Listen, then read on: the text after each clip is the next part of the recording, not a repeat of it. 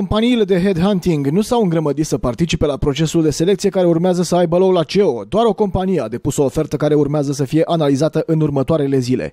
Ieri doar au fost depuse oferte în vederea atribuirii contractului pentru firma care va face selecția directoratului. În acest sens pot să vă spun că avem o singură ofertă.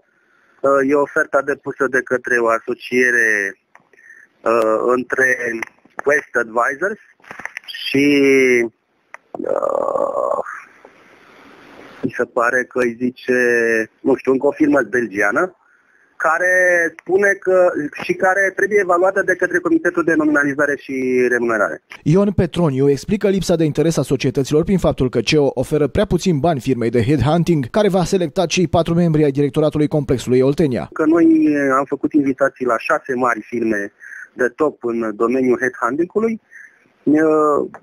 O, o motivație, cred, ar fi faptul că totuși valoarea estimată a contractului este una care nu i-a atras pe ceilalți. Oferta depusă de Quest Advisors va fi analizată până pe data de 15 aprilie, atunci când va avea loc întâlnirea Consiliului de Supraveghere. Societatea s-a ocupat și de recrutarea conducerii societăților de stat Electrica SA, Complexul Energetic Hunedoara și Transelectrica.